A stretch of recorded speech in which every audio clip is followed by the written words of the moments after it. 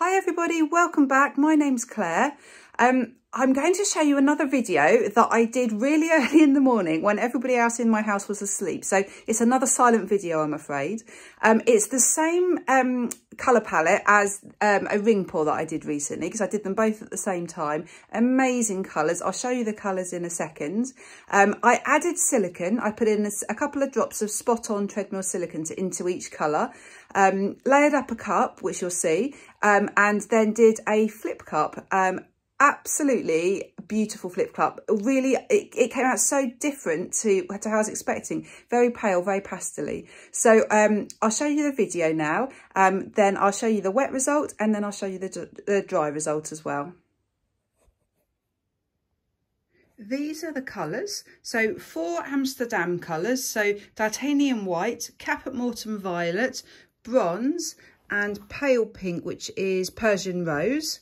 And then I've used Pebeo Studio Acrylics Iridescent Gold and Graduate Acrylic Pearl Black.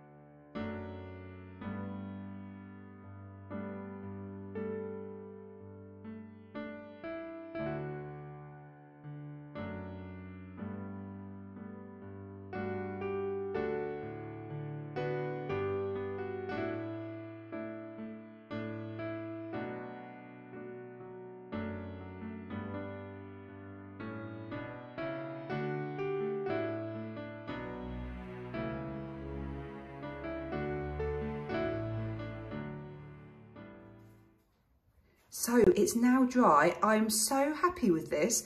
I cannot believe though, it's really pastely. Look how pale it is. I mean, I, I know I put white in, but the white has really dominated um, to make it very pale and pastely, but I love that. But in contrast to this really pale pastel, you've got black. So I'm so nervous of putting black in, but you've just got these really nice hints of it. So the balance, in my mind, is absolutely spot on. I'm so pleased with it. Um, you've got quite a bright gold section around here. Um, so I think that tends to dominate a little bit, tends to be the focal point. Um, but the rest of the cells are just so petite and just, yeah, just perfect looking. Just such a lovely, lovely shape. You've got this wonderful line underneath. So the cells are over that, which I love. Um, the colours work beautifully together. Um, you've got some lovely bronze um, in there and then the really deep violet. So I'm really pleased with it. If I show you the shimmer, can you, let me see, I'll try and show you. I don't think you, oh, there you go, you can, oh, there we go, you can see it. You've got the gold there and the bronze. So it's, it's really quite metallic and iridescent. So once this is varnished, Obviously you can see it there, there's more obvious gold. But look, it's just scattered throughout. So it's different to how I was expecting. I definitely wasn't expecting such a pale painting, but I love it. So thank you so much for watching. Please leave me any comments. If you have any thoughts on this, I'd love to hear them. Do drop me um, a comment below. Great, thank you for watching. Bye.